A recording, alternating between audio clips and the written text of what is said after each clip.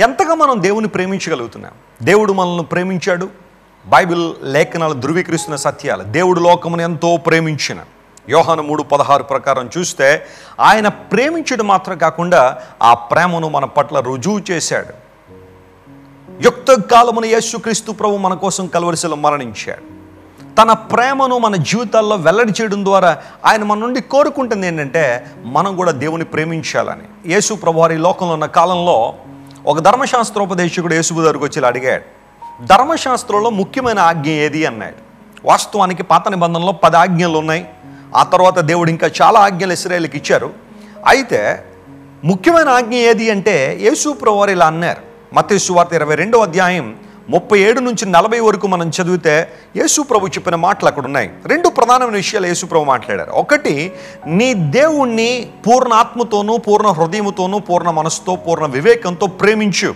ఇది ప్రధానమైనది మొదటి ఆజ్ఞ అన్నాడు. ఆ తర్వాత నిన్ను వలే నీ పొరుగు వారిని ప్రేమించు. Love you God and love thy neighbour as thyself నిన్ను నువ్వు ఎలా ప్రేమించుకుంటున్నావో అట్లనే ఇతరులను కూడా ప్రేమించు. నీ దేవుణ్ణి ప్రేమించు. దేవుని ప్రేమించడంలో ఏనాడు అచ్చి ఉండొద్దు. ఆ తర్వాత నిన్ను నువ్వు ఎలా ప్రేమించుకున్నావో పొరుగు వారిని కూడా ప్రేమించని యేసు ప్రభు పిలిచాడు. క్రైస్తవ జనాంగమా? మనం ప్రేమించడానికే పిలువబడ్డాం.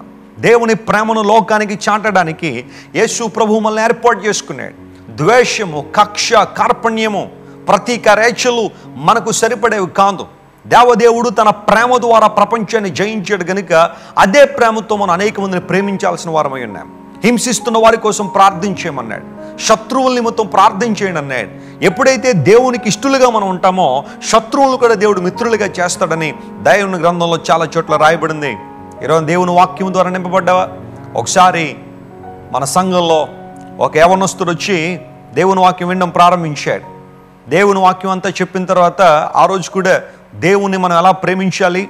మన ప్రేమ ఎలా నిష్కపటంగా ఉండాలో చాలా విషయాలు దేవుని వాక్యం నుంచి మాట్లాడుతున్నప్పుడు ఆ యవనస్తుడు మొత్తం ప్రసంగం అంతా విన్నాడు. మెసేజ్ అంతా విన్న తర్వాత నా దగ్గరికి వచ్చి అన్న ఈ రోజున మీరు చెప్పిన మెసేజ్ నన్ను చాలా చాలా ప్రభావితం చేసింది.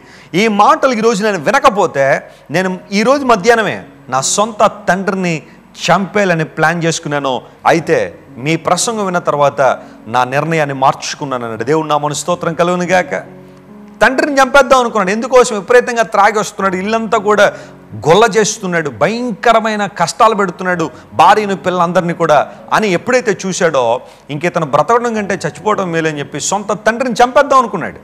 అయితే యేసు ప్రభు మాటలు విన్న తర్వాత దేవుని మాటలు అతను విన్న తర్వాత దేవుడు అతనిలో కార్యం జరిగించాడు. నిన్ను వలె నీ పొరుగు వారిని ప్రేమించి ఎంతగా మనం ప్రేమించగలుగుతున్నాం?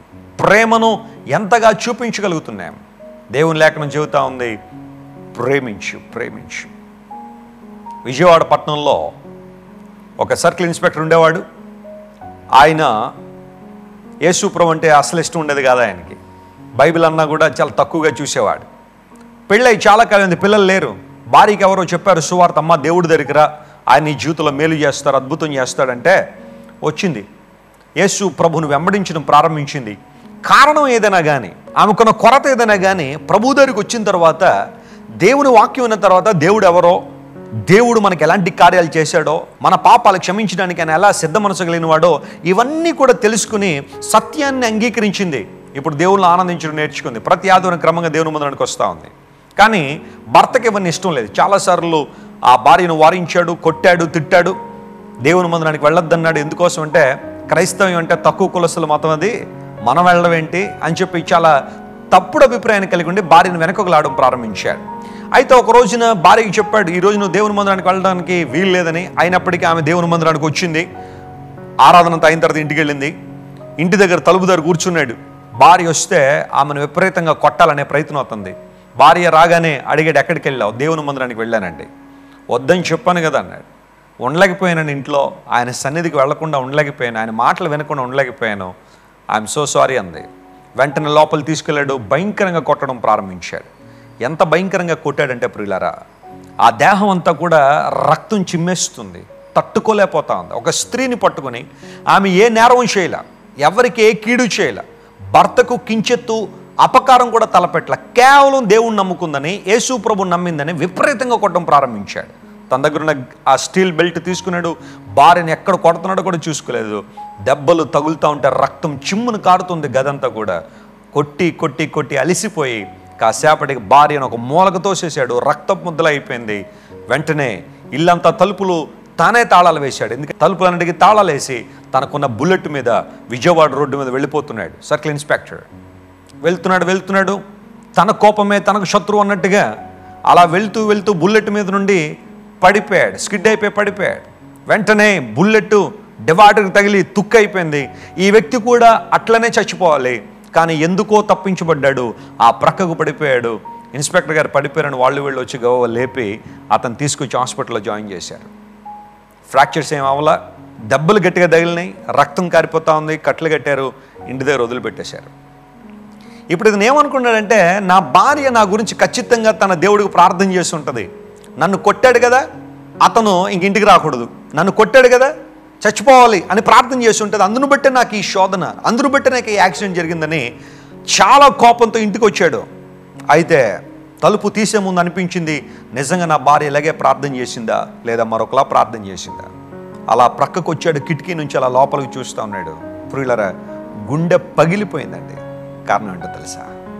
ఆ మాతృమూర్తి లోపల నుండి చేస్తున్న ప్రార్థన ఏంటో తెలుసా?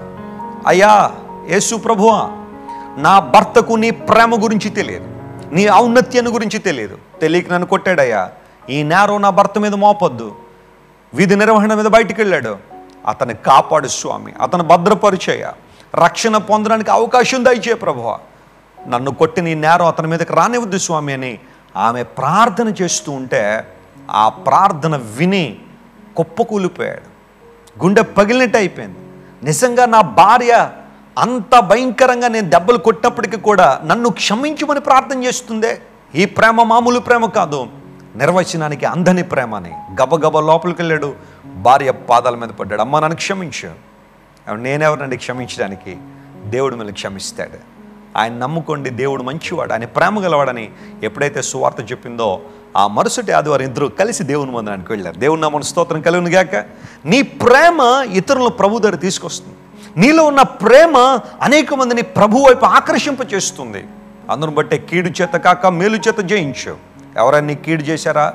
నీ గురించి తప్పుగా మాట్లాడుకుంటున్నారా? నిన్ను భయంకరంగా సమాజంలో చిత్రీకరించాలని ప్రయత్నం చేశారా? మనస్ఫూర్తిగా వారిని ప్రేమించు దేవుని ప్రేమ వారికి చూపించు క్రీస్తు కొరకు వారిని సంపాదించగలుగుతావు. తద్వారా దేవుని రాజ్య విస్తరణ జరుగుతుంది. ప్రేమ ద్వారా ప్రపంచాన్ని మన ఏసై జయించాడు మనకు కూడా అదే విషయాన్ని ఆయన బోధించాడు.